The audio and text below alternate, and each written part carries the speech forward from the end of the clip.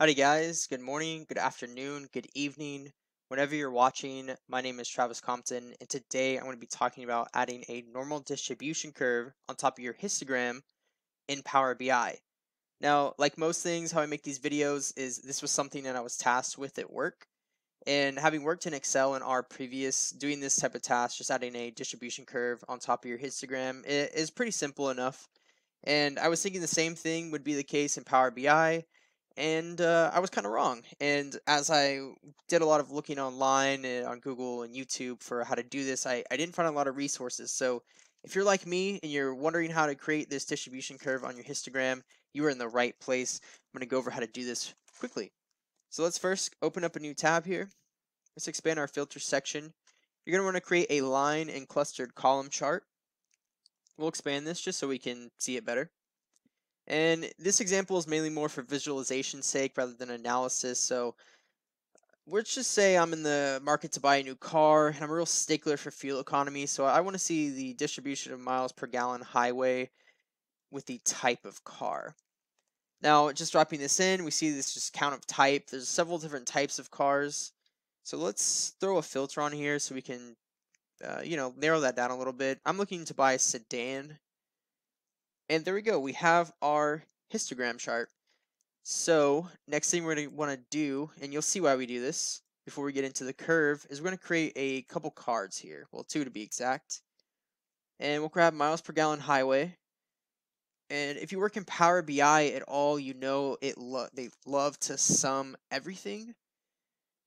And if you watch my videos at all, you know that I love the Command C and Command V function, which is exactly what we'll do here. We'll just Command C that card and Command V it, drop it in there, and we'll change this to standard deviation. So now that we have these cards, let's create a new column.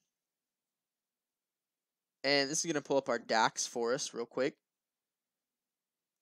Uh, let's first rename this. So this is going to be our distribution curve.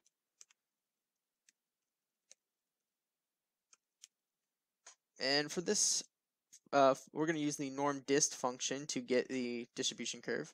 So it's going to first ask for the x, which is miles per gallon highway. It's going to then ask for the mean, and this is exactly why we got those cards there, so we can look at our mean and standard deviation. So 28.63 standard deviation of 4.46. And then it's going to ask for cumulative, which is just set to false. Close your parentheses, hit the check mark, and let's create this column. Cool, there we go. We have our column. We'll click back into our graph here, grab our normal distribution column, drop it in line values. And there we go. We're almost there. It has all these jagged curves, and we want a uh, or jagged ridges rather, we want a nice smooth curve. And again, this is because Power BI loves to sum everything. Let's go and click the average.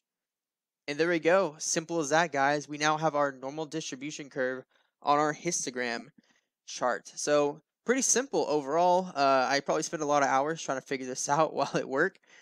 Um, one thing to note is that this curve right here will only work for sedans. If you wanted to get a curve for sports, vehicles or SUVs, you would essentially have to come in here and make a new distribution curve. Because remember, this is the uh, this is the average of miles per gallon highway and standard deviation. Standard deviation for miles per gallon highway for sedan and none of these others. So as you're making these charts and graphs, keep that in mind. And it's simple as that, guys. That'll do it for us today. I think in the next video, I'm going to talk about uh, just making your dashboard look really nice. Because my boss always says, it's not the data that makes the sale, it's the pretty picture. So look forward to that in the next one. If you guys like this, please let me know, like, comment, or subscribe, or don't, whatever you want to do. It doesn't really matter. So let's look forward to the next one, and thank you for watching. If this helps anyone, uh, you know, I did my job. Cool other than that, guys, y'all have a good rest of your night. Bye.